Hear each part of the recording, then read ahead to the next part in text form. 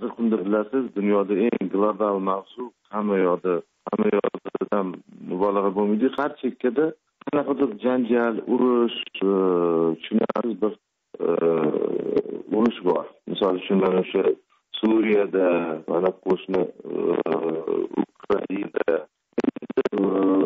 bilasizmi hozirgi kunda tinchlik degan tushunchani qadri shuqadar baland bo'lib qoldiki mana shu degan tushunchani aylab qadriga yetish haqidagi film chunki mana shu har xil bilasizmi har bitta urushni mana shunaqa to'polon sabotajni har xil kuchlar yotadi qora kuchlar endi kimdir kelib o'sha e, o'zini nima deydi gapni o'tkazishi mumkin bo'lgan e, ijtimoiy holatlarga e, odamlarni topib qaysi davlatda bo'lishidan qat'iy nazar o'sha yerda bir janjal to'polon shu xalq orasida bir anaqalar chiqarish nima deydi norozichiliklar davlat siyosatiga nisbatan misol uchun umuman bo'layotgan anaqaga nisbatan shu narsani bahona qilib turib xalqda e, anaqa chiqaradi bir nima deydi e, fitnalar chiqarib katta bir janjal to'polon umuman xotirjamligi buzilishiga olib keladi. Mana shunaqa holatlar.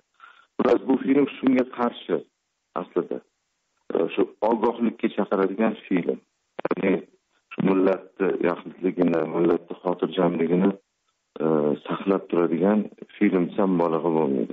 Endi man bitta annotatsiyada o'qidim. Bugun andijon voqealarini qaytadan mushohada qilish degan jumla ishlatishibdida. Boboyevni mana bu kultura uz degan saytga bergan nimasida ocherkida shunaqami bu kino? Ya'ni andijon voqealarini qayta mushohada qilishmi o'n yil oldingi voqealarni? Yo'q aslida andijon voqealarini hech qanaqa bu filmga aloqasi yo'q. Chunki bu film endi bu andijon voqealarida real nima deydi shunga o'xshagan holat yuzaga kelgani uchun qaysidir filmni kadrlari balki o'xshab ketadi. Endi andijonda olganmiz birinchidan keyin o'sha qanaqadir elementlardan foydalanilgan o'sha nima deydi umuman olganda buni hech bir andijon voqealariga daxli yo'q. Andijon voqealari qanaqa bo'lgan nima bo'lgan man u andijon voqealari haqida chuqur unaqa o'zim ma'lumotga ega bo'lmaganman o'shanga andijon voqealari haqida bir narsa deyolmayman. Chunki e, bu film bundoq bo'lsangiz hech qanaqa bir andijon voqealarini aks ettiradigan anaqasi yo'q. Lekin qanaqadir balki o'xshar lekin biza bir andijon voqealarini mana qanaqa bo'lgan mana shunaqa bo'lgan degan fikrni oldi surmaganmiz bu film orqali. Endi yana bitta savol e, rustam aka.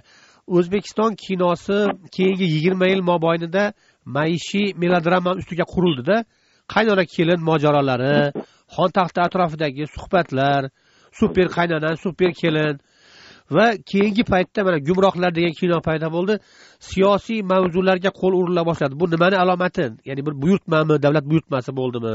Endi har bitta kinoni siyosiy deb bo'lmaydi. Albatta gumrohlar e, bor. Misol uchun shunga o'xshagan o'sha одноклассник shu e, mavzudagi shunaqa ijtimoiy mavzudagi filmlar yo'q emas albatta bir yilda misol uchun ellik ziyod film chiqsa o'shalarni bir ikkitasi balki shunaqa bo'lishi mumkin umuman olganda baribir xalqimiz bilasiz sentimental ruhiyatli xalq o'zbekcha o'zbekni qalbini ya'ni o'sha ichki ruhiyatini ko'rsatib bera olishi mumkin bo'lgan qanaqadir bir kerak bo'lsa maishiy voqealarni hamma imkoniyati doirasida E, badiiylashtirib olib chiqishga harakat qiladi. E, u o'shanga ko'proq melodrama janri komediya janri bizada ko'proq yaxshi qabul qilinadi. Ikkinchi tomoni endi hali siyosiy filmga keladigan bo'lsak baribir bilasizmi shunaqa filmlar kerak. Qaysi ma'nodaki? O'sha filmlar ko'p analizlar asosida har bir davlat tinchligiga xizmat qiladigan film bo'lsa xalqni qaysidir ma'noda e, har xil ko'chaga kirib ketmasligi har xil oqimga kirib ketmasligi e, mumkin qadar saqlab turishga harakat qiladi saqlab turishga xizmat qiladi desam mubolag'a bo'lmaydi. Chunki e, xalqimiz soddada baribir har xil haligi boya aytganimdek ijtimoiy holatdagi odam o'qigan oliy ma'lumotli yo bo'lmasa o'rta ma'lumotli yoshlarimizni mana shunaqa ko'chalarga kirib ketmasin mana shunaqa Э, qanaqadir bir uzoqdan ko'rinadigan nima deydi e, jannat ichida degan tushunchalarga uchib o'sha chetga borib ana qilsam hayotimiz zo'r bo'ladi degan yerlarga uchmay mashqni o'zida o'sha o'ziga sharoitni e, qilsa manimcha e, yomon bo'lmaydi deb o'ylaymanda. Man bu fuqarolik burchim deb o'ylayman o'zimni ham shaxsan o'zimni hamkasblarimni ham. Baribir endi aytadiku ruslarda maqol bor. Хорошо там где нас нет bu hammasi illyuziya deb o'ylayman o'sha odam aqlini ishlatsa harakat qilsa shu yerda o'ziga ham sharoit qilib e, yaxshi hayot kechirayotganlar e, juda ko'pchiligini tashkil qiladi. Anu o'zi e, kimdir dangasa bo'ladi boshqa bo'ladi bu yerda o'zini topolmay chetga borib ishlayman ko'proq topaman deydi. Gumrohlar balki shularni orqasidan adashganlar haqida. Endi adashganlar ham yo'q emas haqiqatda bu statistika o'rganilgan o'sha kerak bo'lsa amerikadan ham qaytib kelib mana shu yerda o'zi tinchgina bola chaqamni oldida yashashga ishlashga yetmas ekan. Mayli o'nsin emas topiy xotirjam hayot oila yaxlitligini ushlab turing degan fikrga kelib odamlar qaytib kelyapti. Chunki amerikada ham rossiyada ham mana hozir misol uchun o'zbeklarimizda bor hamyurtlarimizda bor qaytib kelayotgan holatlarni ko'pini ko'ryapmiz. Mana ko'pini ishlatib pulini ham berishmayotgan holatlar bo'lyapti. O'shanga mana shu yerda o'zida mana katta katta qurilishlar bo'lyapti respublikamizda. Katta katta anaqalar o'sha quruvchilarga ham hammaga ish mana topiladida xudoga shukur sabrlik bilan qilinsa manimcha hamma narsaga erishish mumkin deb o'ylaymanda umuman kinodagi yigirma yildagi tendensiyani olsak albatta hamma kinoni zo'r deb aytib bo'lmaydi. Chunki kinodagi hozirgi holat misol uchun albatta ijobiy tomoni ham bor. Endi ozgina salbiy tomoni ham yo'q emas. Endi nimaga? Yoshlarimizda bor kinoga qiziqib ko'rinay deydi boshqa deydi mashhur bo'lay deydi.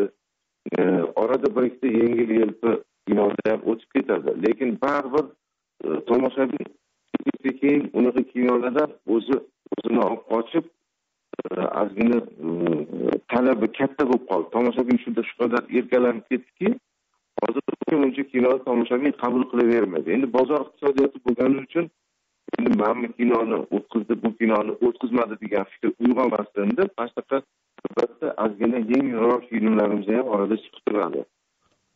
Senzura bor kinoda hech narsani o'tkazmaydi degan fikr uyg'onib qolmasin degan ma'noda. Mayli o'sha e, bozor o'zi mana shu hozirgi kungi bozorni o'zi filmlarni e, siqib chiqarib tashlayapti sekin sekin filmlarimizda albatta sifat paydo bo'lyapti. Bu e, oldin davlat kinolari yaxshi sifatli professional deyilardi xususiy sektorda ishlangan kinolar saviyasi past deyilardi lekin borib borib mana xususiy sektorda ham shu nodavlat kinostudiyalarini filmlari ham sekin sekin o'ziga yarasha o'zini ijobiy e, ko'rsatkichini beryapti. Professionalizm darajasida umuman aktyorlar janrlarni xilma xilligi bo'yicha mana bizada ham shakllanishi boshladi shu narsa. Rustam aka bitta narsa so'ramoqchi edim. Man ijodkor o'sha siyosiy mavzudagi ijtimoiy mavzudagi kinoni qilar ekan qanaqadir bir xavf ostida turadida plakat bo'lib ketmasligi agit plakat bo'lib ketmasligi xavfi borda. Mana san'at bor keyin plakat bor. Rassomlik asarida rassomlik живопись bor masalan rang tasvir asari bor keyin plakat bor. O'sha bo'lmasligi uchun nima qilyapsiz? Yoki u plakatmi sotqin degan o'sha kinongiz agitasionniy rolikmi? Yo'q sotqin degan film plakat emas. Hattoki ko'p kino mutaxassislarni ham fikri shunaqa bo'ldiki yaqin o'n besh yigirma yilda bunaqa dadil film birinchi marta bo'lishi. Endi u filmda unaqa plakat deb aytilib bo'lmaydi u filmda realistik turadi ya'ni realistik bo'lishi mumkin bo'lgan shu narsadan biza u xavfni shunaqa darajada ko'rsatishga harakat qildikki chunki o'sha dunyoda mana biza ham baribir ommaviy axborot vositalarini o'qiymiz internet sahifalarini kuzatib boramiz bevosita har xil misol uchun yevropa davlatlarimizda rossiya o'sha bo'lsa rossiyani asosiy siyosatiga qarama qarshi bo'lgan internet sahifalarni ham o'qib boramiz. Va o'zimizni qanaqadir yechimimizni topishga harakat qilganmiz. Biza endi bitta tomonga qarab emas balki ko'pchilik ko'rganda hammada ham e, chunki har xil toifa tomoshabinda e, harakat qildikki realistik qanaqadir bir tushuncha uyg'onsin mana shu film haqida ya'ni shu plakat bo'lib qolibdi e, bunaqa bu film yolg'on degan fikr bo'lmasligi uchun filmda shiddatli uchun e, vaqti kelib balki bir kun e, ko'rasizlar kimdir bo'lsa ko'rib o'ylaymanki degan tushunchadan ancha yiroq chunki bu yerda kerak bo'lsa qanaqadir bir inson muammosini qo'rqmasdan gapirilgan joylari ham borda. O'shanga unga e, nima deydi? Shu haqiqiy kerak bo'lsa yaxshi tomoni ham bor. O'zimizda yo'l qo'yib qo'yayotgan xatolarni ham bemalol ko'rsatishga anaqasi bor. Ko'rsatilgan joylari ham borda o'shanga bu filmni man ijodkor sifatida plakat deb ayta olmayman. Man suratga olganim uchun emas man e, ssenariyni o'qiganimda o'zim to'lqinlanib ketganman. Shunaqa ssenariy? Yo'q xudoga shukur ssenariy qandoq bo'lsa shundoq hech kim hech qanaqa bir qarama qarshilik ko'rsatgani yo'q lekin tomoshabin filmga boshqacha qiziqish bilan yondashyapti yangilik bo'libdi o'zbek kinosida degan man xursandman faqat ozgina bo'lsa ham bir haqiqat ko'rsatib shu yangilik qilsak baribir tomoshabinni ham qo'ynini ola olamiz to'laqonli o'ylaymanda lekin xudo xohlasa bu plakat deb ayta olmayman man bu film.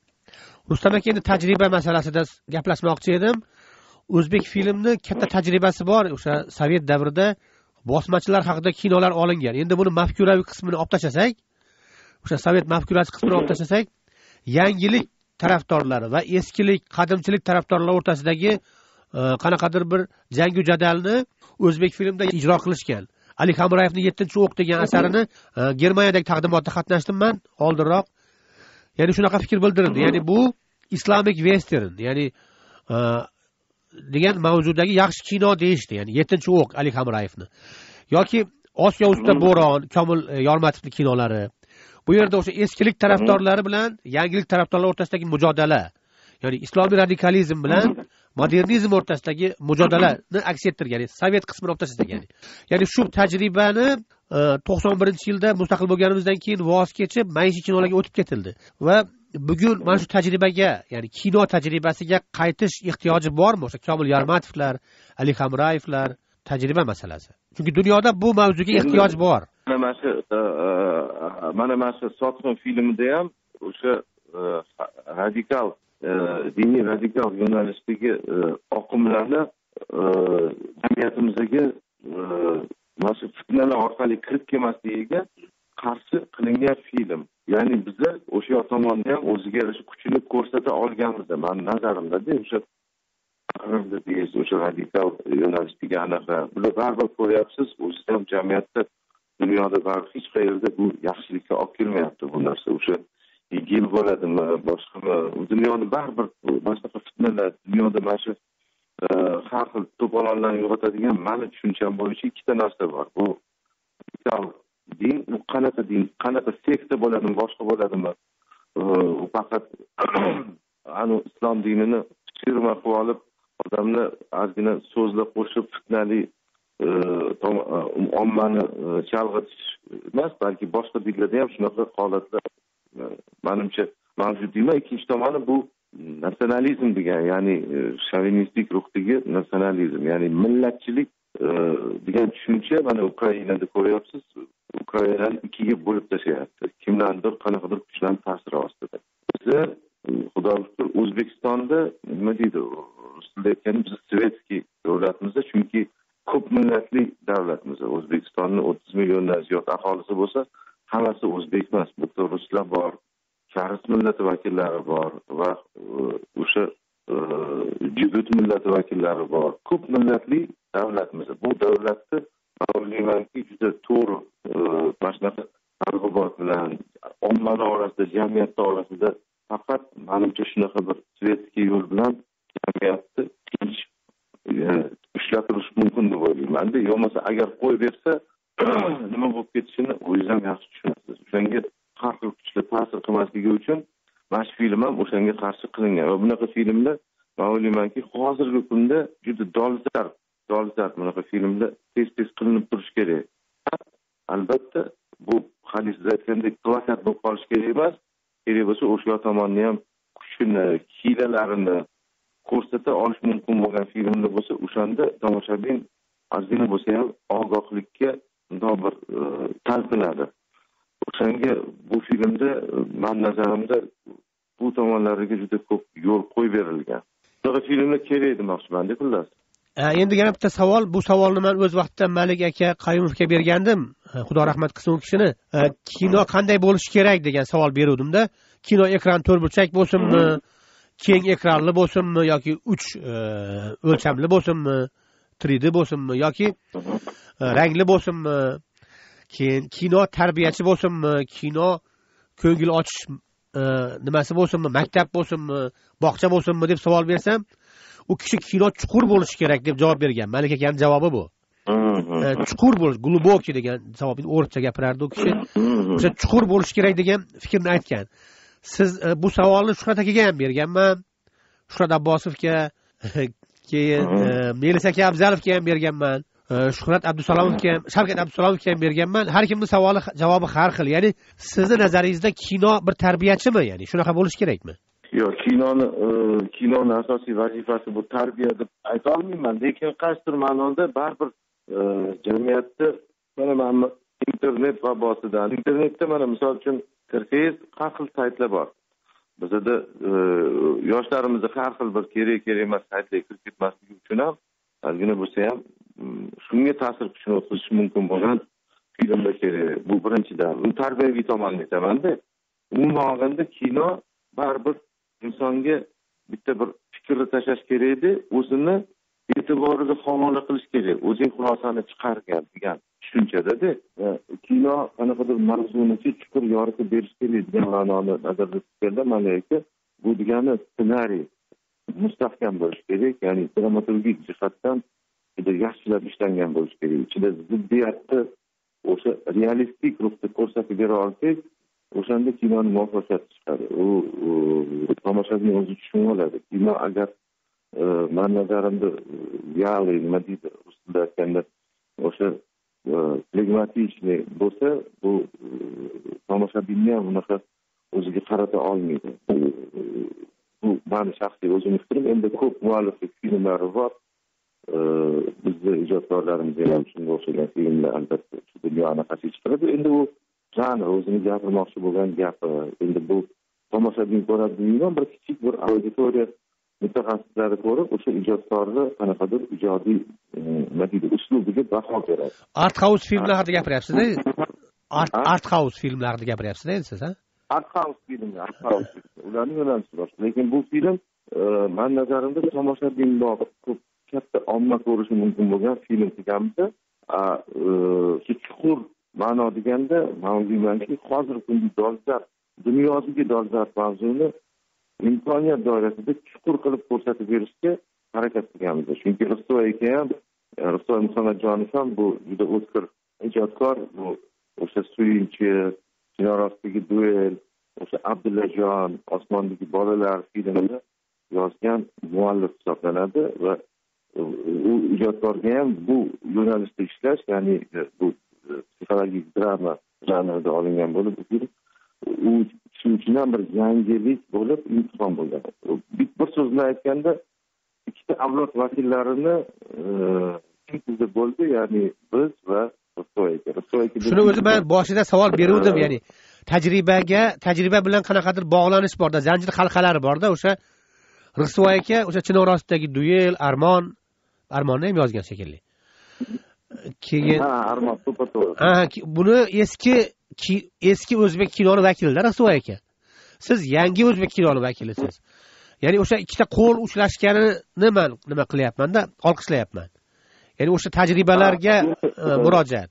Komil yormatovlarga o'sha paytdagi aka hamrayev o'sha eski odamlargada ya'ni shuhrat abbosov o'sha latifaziyev o'sha komil yormatovlar o'sha yo'ldosh ag'zamovlar bular hammasi o'zbek filmni haqiqiy o'zbek kinosini fundamenti deb hisoblaymanda va bu rissoykadagi ijodkor bilan hamkorlik qilish mani ulg'aytirdi ijodkor sifatida rissoyka o'zlari hazillashib ekanlar man sizlar bilan ishlab yoshardim dedilar lekin bizda aslida ijodkorlar hammamizni ulg'aydik bu filmni ishlab man shaxsan o'zimni ham tajribamni e, tajribamga qaysidir ma'noda bir tajriba qo'shildikdan bolig'i bo'lmaydi. Chunki rissoykalar bular katta maktab o'zbek kinosida bular bilan hamkorlik qilish haqiqatda sintezi e, man o'ylaymanki bu e, tomoshabinni ham yetti yoshdan yetmish yoshgacha bo'lgan katta auditoriyali tomoshabinni ham manimcha o'z ichiga ola oldi bu film. Chunki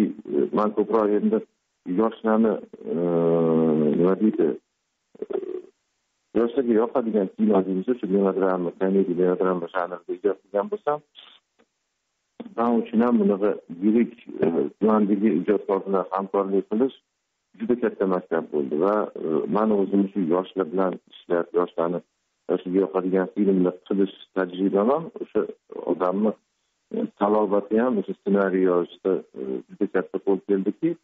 O'shanga ham mana hozir man o'zim ham qiziqaman har bir ijodkor qiziqadi filmga qanaqa odam tushyapti.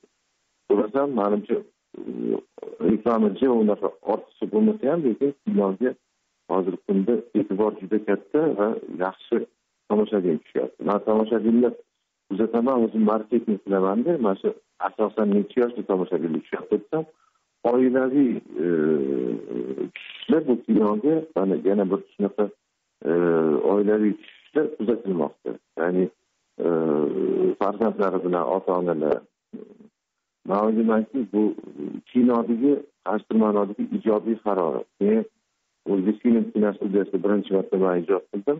Bu filmni shu o'zbek film kinostudiyasida suratga oldim. Bu davlat grantiga olindimi rustam aka? Davlat buyurtmasiga ko'ra davlat grantiga olindi davlat mablag'i bilan bu albatta bu davlatni buyurtmasi shu davlatni buyurtmasi davlatni puliga olingan film.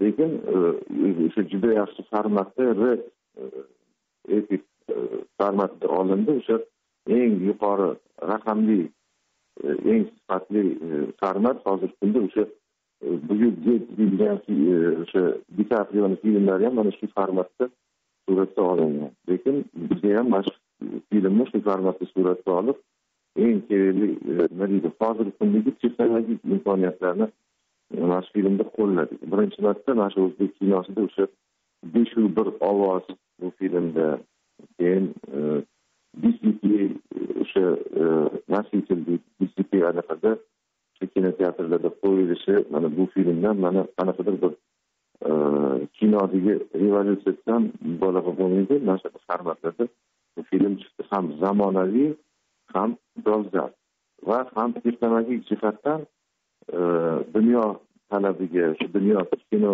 festivallari kino forumlariga bemalol e, o'sha format jihatidan bellashadigan film ham mubolag'a bo'lmaydi. Lekin e, o'sha dunyoda bilasiz festivallarga yuborsangiz uncha muncha klassik filmlarni qabul qilmaydi. Lekin bu filmni o'sha qiziqib hozirgi kunda o'sha uncha festivalda ham o'sha shu filmni jo'natishimizni so'rashyapti endi film endi chiqqani bilan lekin katta katta o'sha rus tilidagi saytlarda o'sha yirik mutaxassis kino mutaxassislar bu film haqida ta'riflagani uchun o'sha saytlardan o'qib qanaqadir bu filmga hozir qiziqish paydo bo'ldi man xursandman bu man mani shaxsan ijodimda ham juda katta burilish va keskin burilish desam Э, to'g'ri bo'ladi o'zimni maqtab olyapman lekin asarni o'zi bunaqa asarga qo'l urishim juda murakkab juda bir qattiq talab bo'lgan o'zimga ham juda katta talab qo'yganman o'zimni imkoniyatimni e, ma'noda yana izlanishim kerak chegaralanishim kerak emas deb ko'p o'sha internet sahifalarini o'qib mana dunyo televiziyalarini ko'rib o'zimni e, shaxsan rejissyor sifatida fikrimni ham aytishga harakat qilganman bu film orqali chunki man juda shu informatsion anaqani bevosita kuzatib boraman har tomonlama har xil fikrlar o'sha har xil ommaviy axborot vositalarini bitta voqea haqidagi fikrni kuzatib borib o'sha o'rtasiga tayanishga harakat qilib mana shu filmni suratga olganmiz tabriklaymiz tabriklarimiz endi. Har qanday yangilik aslida unutilgan eskilik degan bitta nima bor gap bor ya'ni fikr bor. Man e, komil yormatovni ilk kinosini e, bilsangiz kerak amerikanka iz bagdada degan. Ko'rganmisiz o'sha kinoni? Bu yerda bitta o'zbek bosh qahramon afg'onistonga boradi o'shalar radikallarga islom radikallarga qo'shib afg'onistonga boradida ular niyati yomonligini ko'rib yana o'zbekistonga qaytib keladi. O'sha farg'onani bag'dod qishlog'iga qaytib kelib o'sha yerda mehnat bilan shug'ullanadi paxta yetishtiradi amerikanka degan paxta yetishtiradi. Ya'ni oddiy bir syujet lekin sizni o'sha mani kinoyingiz ham xuddi mana shunaqa o'xshayaptida ya'ni komil yaramatovni ijodi qaysidir bir mukammal tarzda texnologik yangiliklar bilan qaytarilgandayda mani fikrim endi bu subyektiv fikr. Endi bu filmni syujetini gapiradigan bo'lsam albatta bu bitta oilani qismati bitta oilada ona to'qqiz oy mana shu qornida bolasini ko'tarib yurib oq yurib oq katta qilib ikkita o'g'illi ikki xil dunyoqarashli farzandni qismati ya'ni bu e, onani fojiasi orqali ko'rsatganmizda bu ona mana bitta o'g'li e, poytaxtda universitetda o'qiydi ikkinchi o'g'li o'sha yerda endi o'qimagan. Choyxonada to'rtta beshta o'rtog'ini yig'ib biznes qilib ozgina e, nima deydi boriga ham ko'nmay hokimiyatda hozir kelib qoladi boshqa qiladi. Shu ikkita o'g'ilni orasidagi ziddiyat haqidada ikkita o'g'li kelgandan keyin mahalliy universitetda o'qigan e, ukasini ham katta o'g'il mana shu ko'chaga olib kirmoqchi bo'ladi. Va bola e, o'sha sotsin degani ham shu aslida bu davlatga emas balki o'sha e, akasini dunyoqarashiga akasini mana shunaqa fitnali fikrlariga qarama qarshi chiqqani akasiga bo'lgan sotqinligi haqida bu film aslida. Bu yigit qaysidir ma'noda shu farruh soipov rolni ijro etgan bosh rolda javohir zokirov bilan o'sha e, farruh soipovni e, adashib mana ko'chaga kirib keyin bu ko'chani qanaqa darajada noto'g'riligini keyin tushunib yetib e, umuman mana o'ziga yarasha jazosini olgan degan fikrni ko'rsatmoqchi bo'lganmiz lekin ziddiyat asosiy ziddiyat mana shundan iborat lekin bitta oilada ikkita qarama qarshi fikrli odam haqida o'shani o'zi ham tomoshabinda ko'proq qiziqish uyg'otadi chunki ichida bahslar bor umuman zamonaviy hozirgi zamon svetskiy jamiyat ya'ni jamiyatni hozirgi kuni haqida ijodiy harorat haqida va ukani okani ko'zi bilan qaraganda jamiyatning o'zgarishlarni ham ko'r ko'roni faqat yomonlikka yo'yayotgani haqida. Umuman olganda shu tomoni bilan qiziqdi o'shani orqasidan bu e, yigit asosiy qahramon adashib osh ko'chaga shunday kirdim deganda e, o'sha e, fitnaga uchib o'shanda bu iqtisodini qanaqadir yechimi bo'ladida oxirida. O'shani o'zi ham va onani fojiasi ona shunchalik o'stirib halol yedirib ichirib yuvib kiyintirib nima deydi o'qitib bolalaridan nima ko'rdi? Bizada bilasiz ona har doim har bir farzand bizni millatimizga xos u onamizni boshimizga qo'yamiz shu onamiz deymiz otamizni deymiz. Lekin shu onani qaysi ahvolga tushirdik oxirida ona qarib unkillab bukilib qoladi. Bu ani bekorga aytilmaydiyu jannat onalar oyog'ini ostida. Va onani ota onani rozi qilish degan narsa bizni qonimizga singib ketgan. U ota onani rozi qilmaslik baribir haligi siz aytgandek qaytadigan eskiligimizni o'zimiz ham farzandlarimizdan xuddi shunga o'xshagan vaziyatga qaytishimiz mumkin. Endi o'shanga mana shu narsalarga yo'l qo'ymaslik haqidada jamiyatni yaxlitligini ya'ni shu jamoatchilik tuyg'usi bilan yashash bir biriga xayrixohlik qo'ni qo'shnidan og'ir yengil kundan xabar olish degan tushunchalar mana shu filmni ichida o'zini javobini topgan. Rustam aka endi hamma fikrlaringizni mana shu kinoda jamuljam qila oldingizmi? Aytilmagan gaplaringiz qoldimi? Ya'ni bu mavzuga yana qaytasizmi? Yana bitta kino olish niyatingiz bormi shu siyosiy mavzuda? Bu savolim sizga.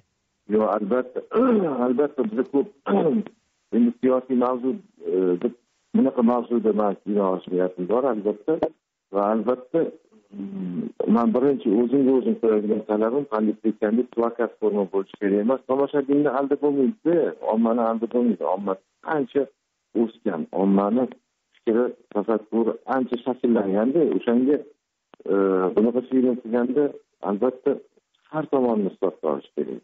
Ya'ni e, nima deydi mana hozir yangi mavzuga e, to'liq sharaf shunga o'xshagan endi bunga o'xshagan deb aytolmayman bu o'sha narkomaniya vabosi haqida. Bu ham dunyoda bir juda katta muammo.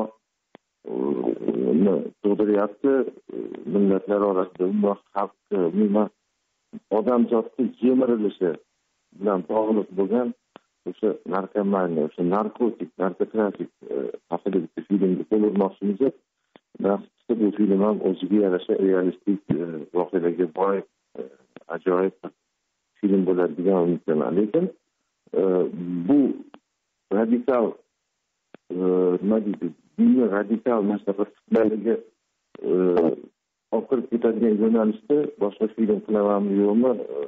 Vaqt ko'rsatadi. Lekin bu film asosan dinga chuqur kirib ketgan film deb aytolmayman biza faqat o'sha dinni nima deydi har xil hozir provokatsion ko'rinishdagi ya'ni o'ziga qalqon qilib olib uni yomon e, anaqalar fitnalarni aralashtirib ommani chalg'itish haqidagi e, ma'nosini ochib berishga harakat qilyapmiz lekin bu chuqur diniy bino deb aytolmayman bu film. Bu film zamonaviy o'ta zamonaviy u filmni ichida sevgi muhabbat oilaviy mehr oqibat degan tushunchalar ustun turadi hamma narsadan. Rahmat rustam aka. Muvaffaqiyatlar sizga. Sog'lik salomatlik. Tinglovchilarimiz nomidan tabriklayman yangi muvaffaqiyatlar bilan. Rahmat sog' bo'ling. Muvaffaqiyatlar bilan. Rahmat sog' bo'ling. Muvaffaqiyatlar bilan. Rahmat sog' bo'ling. Muvaffaqiyatlar bilan. Rahmat sog' bo'ling. Muvaffaqiyatlar bilan. Rahmat sog' bo'ling. Muvaffaqiyatlar bilan. Rahmat sog' bo'ling. Muvaffaqiyatlar bilan. Rahmat sog' bo'ling